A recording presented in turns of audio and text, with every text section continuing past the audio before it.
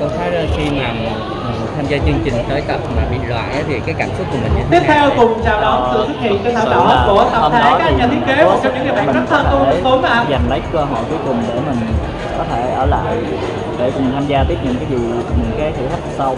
Nhưng mà Tôi có thể nói là trong một buổi tối như ngày hôm nay, sự xuất hiện của những người bạn thân thiết chính là một nguồn động lực để những người như nhà thiết kế của mình Tuấn chúng ta tiếp tục cháy mà vấn đề sao và tiếp tục. ờ, mình sẽ công cuộc sáng tạo của cố mình gắng hơn trong hy vọng những cái đoạn đường sắp tới, như là lương những cái dự án Tuấn Tuấn với tất cả quý vị ngày em có sẽ trước được mình bị dài. sớm như vậy không? Tại vì chào người luôn đánh giá cao em trong team tham gia. Ờ, thì bất cứ cái cuộc thi nào nó cũng có xác suất rủi ro thì đó là phần mà mình đã phải cân nhắc và kể từ vòng đầu tiên rồi bất cứ lúc nào cũng có thể bị loại thì mình chỉ là cố gắng. Ờ, Hương Giang nói với em như thế nào sau khi em bị loại tại vì trên sóng truyền hình các thông tin ờ, mình không nghe được Dạ. thì chị Hương gian. Giang mentor của em thì ờ, vì đó là mình một nhà là một team thì chị luôn ủng hộ và cũng như là muốn em sẽ có những cái cuộc sống tốt hơn cũng như là trong tương lai sẽ thành công hơn. Thì đó là những cái gì mà chị chia sẻ. Những cái comment trên mạng về các cái tập phát có sóng thì đều tiếc nuối công tác nói là không chúng loại là không xứng đáng thì thì em đọc thì em cảm thấy như thế nào về chương trình. Thật sự thì đó là những cái lời mà tình yêu thương của mọi người thêm rất cảm thấy là trân trọng và kiểu đó cũng là một cái tiếp theo trên thảm đỏ sẽ cùng chào đón hoa hậu trái đất Hạnh mình sẽ coi nó một cái tài sản để mình có thể ờ, trong tương lai làm được điều gì đó nhiều hơn. Có thể nói Hoa hậu Trái đất Hoàng Hạnh cũng là một trong những người em rất thân và ủng hộ nhà thiết kế Nguyễn Minh Tuấn trong một thời gian khá là dài.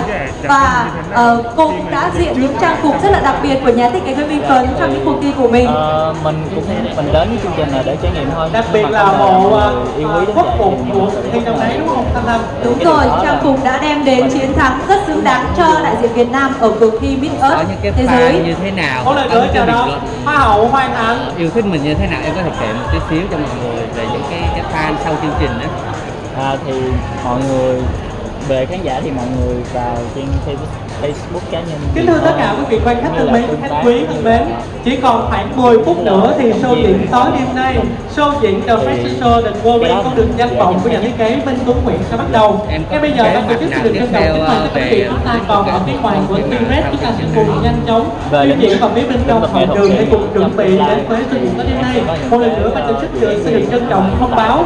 Còn khoảng 10 phút nữa thì show diễn tối đêm nay sẽ bắt đầu. Ngay bây giờ xin được trân trọng kính mời tất cả quý vị chúng ta sẽ cùng trở lại vào trong hội trường lý do như thế nào em với muốn được tham gia chương trình ạ. Netflix mình á Dạ, thì ờ, lý do đầu đón tiên hiện là của để nam ca mình sĩ Nguyên Vũ. chưa từng bao giờ tham gia cuộc thi nào hết thì đây là một cái trải nghiệm mình nên có để mình có thể học hỏi thêm nhiều Thưa quý vị, trên thảm đỏ lúc này Mở là ca cái sĩ mối quan Nguyên hệ Vũ xung và thiết kế Minh công Tuấn Nguyễn. Anh Nguyên Vũ là một trong những ngôi sao những idol em có của nghĩa.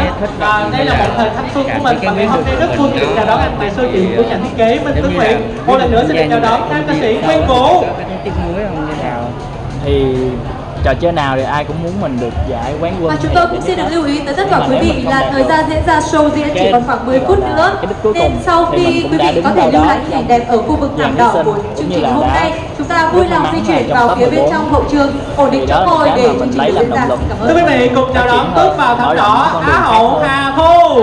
cộng đồng mạng có đẩy Thưa quý vị, Á hậu anh Hà Thu ngoài việc em, xinh đẹp ra thì Hà Thu còn rất tài năng khi hát rất là hay và cũng người được rất nhiều những giải thưởng cuộc thi âm ờ, nhạc những tại Việt giả có những gu Một lần nữa xin nhau, được chào đón đến với show thời trang được Ovi một của Minh Tuấn Nguyễn tình Á hậu của Hà Thu. mình sẽ ủng hộ hay là mình hưởng ứng để mọi người cảm thấy vui.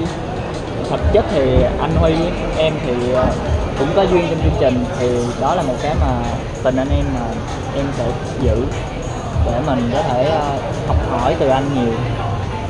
Thì các bạn trong chương trình này thì em dự đoán à, ai sẽ là quán quân nếu mà em như cảm thấy em đang câu hỏi này thật là khó nhưng mà mình nghĩ là để đó để cho khán giả có thể tự suy nghĩ tìm một cái quán quân cho riêng của mình thì sẽ hay hơn.